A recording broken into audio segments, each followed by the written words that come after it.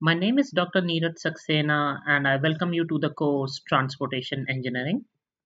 In this video, I'll be presenting a case study which is converting an unsignalized intersection into a signalized intersection. So the intersection under consideration that we have for this particular case study is shown on this slide. And there are several pieces of information that we also have available uh, for this case study. So as we can see from this diagram, it is a one lane, two way unsignalized intersection, which is located on a flat terrain with good visibility conditions around this location. This unsignalized intersection only allows straight or through movement of traffic, which means that no left or right turn is allowed at this intersection.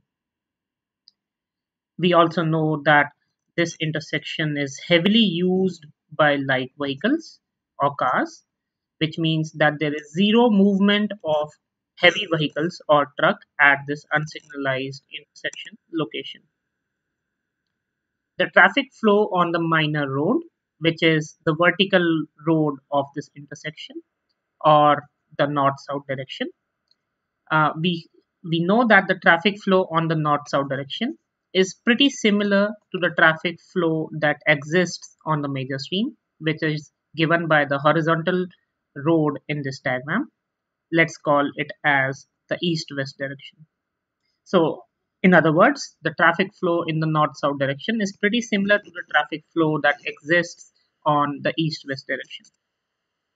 So the aim of this case study is to install a traffic signal at this intersection which would lead to reduced delays on the minor road as well as the overall intersection.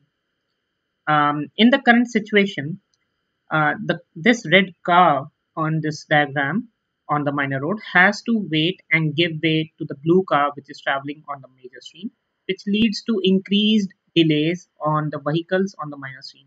Thus, installing a traffic signal will lead to reduction in the delays experienced by the vehicles on the minor stream. So the very first step that was undertaken uh, for this case study was determining the traffic flows on each of the four approaches for this unsignalized intersection. There are several methods of uh, evaluating the traffic flows at a given approach. Pneumatic tubes is one of them. So using such methods, we found out the hourly traffic flows on each of the four approaches that are coming towards this unsignalized intersection. Now, the objective is to determine the phase plans and signal timings for the given traffic flows.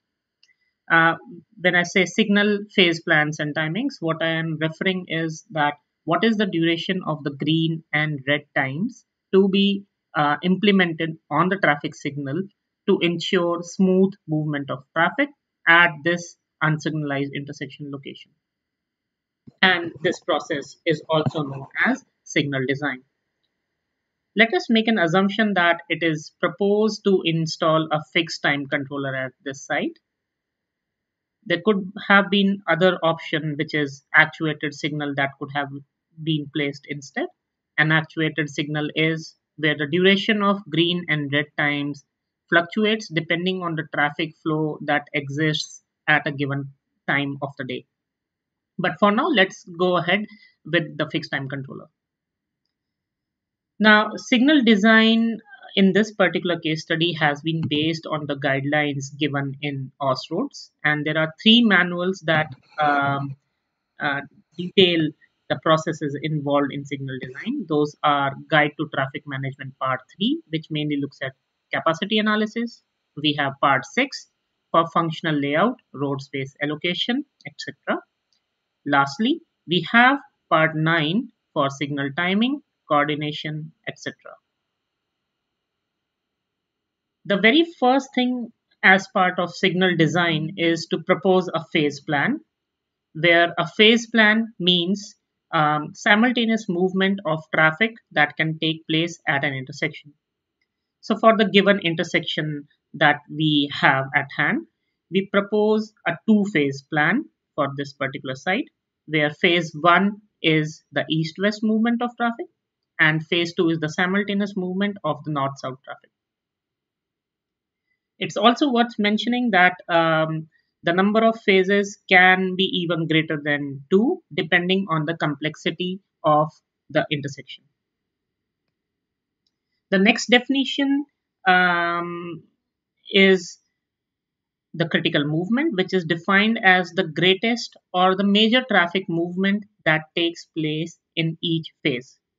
So, in this last slide, we uh, proposed a two phase plan where we see that the movement of 800 and 500 vehicles which takes place in phase 1 and similarly we see that uh, for the given intersection the movement of 600 and 400 vehicles which takes place in phase 2 now critical movement is the greater traffic movement in each fee in each each phase which is 800 in phase 1 and 600 vehicles per hour in phase 2 so these two movements are called the critical movements for each of the two phases. The next definition is the saturation flow, which is defined as the maximum rate of flow that can pass through a given traffic movement under the prevailing roadway and traffic conditions, usually expressed as vehicles per hour. Another way to put saturation flow is the number of vehicles that can pass through the intersection from an approach if the green signal of the intersection is left turned on for a period of one hour. So Austroad has given guidelines for setting the base saturation value, which is um, for our given case, since it's a flat terrain intersection with good visibility conditions and only has one through lane, the saturation flow is 1,850 vehicles per hour as given by Austroads. The next definition is the start time loss, which is the difference between the start and end lag times and is equal to the intergreen time plus the difference between the start loss and the end gain. This definition can be better understood with the help of the diagram on this slide. And this diagram shows the phase diagram, which is the duration of red, green, and amber time, and the several definitions associated with such phase plans. The start loss can be uh, seen as highlighted in this diagram and it is intergreen time plus the difference between start lag and the end game. end gain so the normal start time loss value as recommended by Austroad is 3 seconds which will be taken in this case study the next step is the signal design which is based on several criteria and the most frequently used criteria is the intersection degree of free, uh, saturation, which uh, where saturation is the level of occupancy that is designed um, for a particular intersection. So the intersection degree of saturation formula is shown on this slide, and uh, x, which is the intersection degree of saturation, is recommended as 0.9 by Austroad, which is we design the signal timings assuming a degree of saturation of 90%. The other criteria uh, include minimizing delay, the number of stops, and queue length. So using the previous formula um, and reshuffling it, we can find the value of C, which is the actual cycle time of a signal.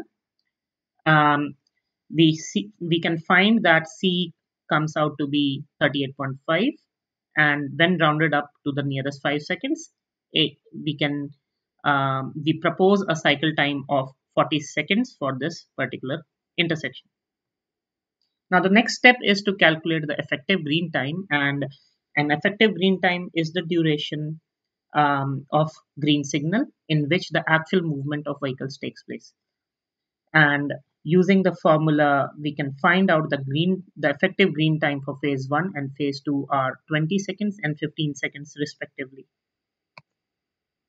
The next step is to calculate the displayed green time, which is the duration for which the green signal is actually turned on.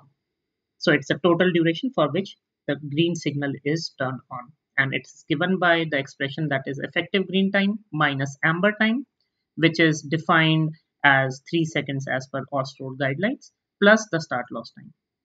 So using this expression, we can see that the displayed green time for phase 1 and phase 2 is 20 seconds and 15 seconds respectively.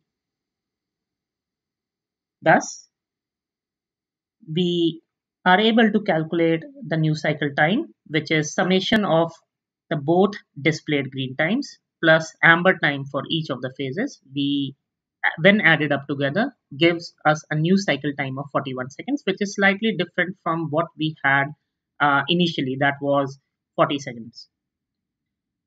The figure below shows the phase timings for each of the phases, where these numbers 23, 18, for example, are the timings in seconds.